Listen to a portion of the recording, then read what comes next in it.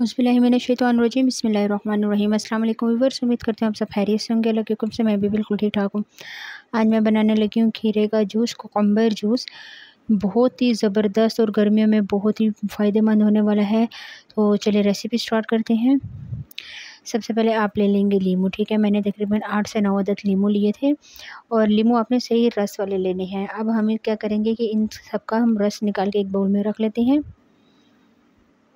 जी तो ये मैंने बाउल में रस निकाल दिया है और जो उसके बिंज वगैरह थे वो भी अपने अच्छी तरह से निकाल लेने हैं। अब हम चीनी की चाश बना लेते हैं, एक बाउल ले लेंगे थोड़ा सा बड़ा, उसमें मैं हाफ़ कप चीनी डाल दूँगी और इस अब मैं, इसमें मैं शामिल कर दूँगी जो लीमू का रस हमने निकाला हुआ था वो। अच्छी तरह से इसको मिक्स करेंगे मेल्ट करते जाएँगे अच्छी तरह से तकरीबन आठ से नौ मिनट आपने मुसलसल इसको मिक्स करना है और ये चिके चीनी इसमें अच्छी तरह से मेल्ट हो जाए, ठीक है ना? थोड़ी सी आपको मुश्किल होगी लेकिन फ़ौरन से ये एकदम मेल्ट हो जाएगी। एक क्या नाम है, कतरा मैंने इसमें पानी शामिल कर दिया है। और अच्छी तरह से मैं इसको मिक्स करते जाऊँगी कि ये सारी चीनी इसमें अच्छी तरह से मिक्स हो और ये बहुत अच्छी से इसकी एक चास बन जाए।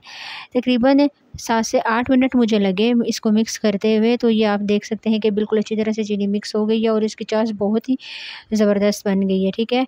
क्या नाम है आपने इस चीज़ का ध्यान रखना है कि जो चीनी है वो बिल्कुल भी नज़र नहीं आनी चाहिए, वरना आपके मुँह में जब आएगी तो वो बिल्कुल भी अच्छी नहीं लगेगी।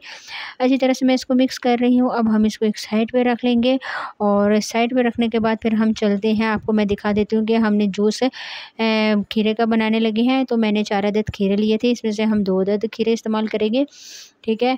एक थोड़ा सा बड़ा और एक थोड़ा सा छोटा। आपने अच्छी तरह से इनको वॉश करना है। वॉश करके इसकी जो मट्टी वगैरह होगी, वो आपने उतार लेनी है। इस, इसका आपने ध्यान रखना है कि आपने अच्छी तरह से वॉश करना है। तो चलिए मैं इसका छिलका रिमूव कर लेती हूँ। दो अदद खीरे मैंने लिए मैंने उनका छिलका बिल्कुल अच्छी तरह से रिमूव कर दिया और साइड की कटिंग कर दी है। अब मैं इसके पीस बना लूँगी।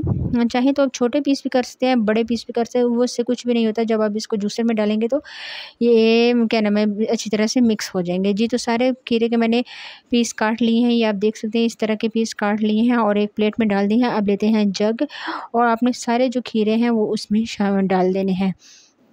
ठीक है, डालने के बाद इसमें मैं एक ग्लास ठंडा पानी डालूँगी। आप नॉर्मल टेम्परेचर वाला पानी भी इस्तेमाल कर सकते हैं, लेकिन मैंने ठंडा पानी लिया था। ठंडा पानी डालने के बाद हम इसको अच्छी तरह से ब्लेंड करेंगे कि अच्छी तरह से सारे कीड़े जो हैं वो अच्छी तरह से ब्लेंड हो जाए। ठीक है? इस चीज़ का आपने ध्यान रखना है कि पानी जो है वो आपने एक ही कप इस्तेमाल करना है। पानी इसमें बहुत ज़्यादा ये पतला हो जाएगा तो फिर बिल्कुल भी अच्छा नहीं लगेगा। जी तो हो गया था तकरीबन दो मिनट मैंने जग चलाया तो बहुत ही अच्छी तरह से हो गया था। अब आपने एक बाउल ले लेना है। खाली सा कोई सा भी बाउल ले लेंगे बड़ा सा। उसके ऊपर हम छन्नी रखेंगे और सारे जो खीरे का आपका जूस है वो आपने इसके ऊपर डाल के इसको अच्छी तरह से छान लेना है, ठीक है? छाने बगैर आपने जूस नहीं करना, चम्मच की मदद से आप इसको मिक्स करेंगे, जो इसके ऊपर से ये जो गूदा होता है ये एक अलग हो जाएगा और जो इसका रस वगैरह है, जो इसका जूस है वो ये नीचे रह गया है। तो ये आप देख सकते हैं, ये इसका जूस निकला है तो अब अच्छी तरह से हम इसको मिक्स करेंगे। बिल्कुल इस कलर का हो गया है, जिस तरह आपको गन्ने वगैरह का शरबत मिलता है, ये बिल्कुल उसी कलर में आ गया था। जी, तो अब हम इसको क्या कर लेते हैं कि इसको अच्छी तरह से आपने मिक्स कर रहे हैं। मिक्स करने के बाद जो आपने चीनी की चास बनाई हुई थी वो आपने थोड़ी-सी दोबारा से मिक्स कर रहे हैं क्योंकि पड़ी हुई चीज़ें तो थोड़ी-सी ये सख्त हो जाती है। आपने अच्छी तरह से इसको मिक्स करके, अब किसी भी चम्मच की मदद से, ठीक है ना, आपने चीनी की चाश इसमें डाल देनी है, जितना मीठा आपको ज़रूरत है। मैंने तकरीबन इसमें डाल दी थी, ये दो बड़े वाले ये चम्मच डाल दिए थे, और डालने के बाद अच्छी तरह से इसको मैंने मिक्स किया है कि ये अच्छी तरह से इसमें मिक्स हो जाए, लीमू, चीनी और जो खीरे का जूस है, वो अच्छी तरह से मिक्स कर लेंगे। एक गिलास ले लेंगे गिलास में आपने ढेर सारी बर्फ़ इस्तेमाल करेंगे हम इसमें, ढेर सारी आपने बर्फ़ इसमें डालनी है, जितनी हो सके।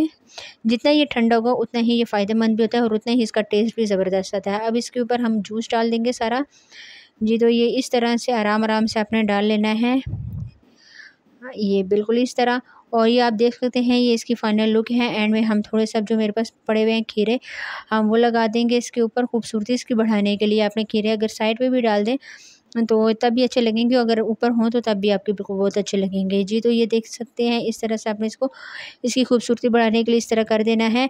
आसान से ये रेसिपी है, उम्मीद करती हूँ कि आपको ये रेसिपी ज़रूर पसंद आएगी। आपने ये रेसिपी ज़रूर ट्राई करनी है रमज़ान में। आप इसको बनाएँ अपनी अफ्तारी में, सब इसको बहुत ज़्यादा पसंद करेंगे। आगे जून, जुलाई की गर्मियाँ हैं, तभी मौसम बहुत सख्त गर्म होता है तो ये बहुत फ़ायदेमंद होने वाली है। आज के लिए इतना ही नेक्स्ट वीडियो में मुलाकात होगी, तब तक के लिए अल्लाह हाफिज़।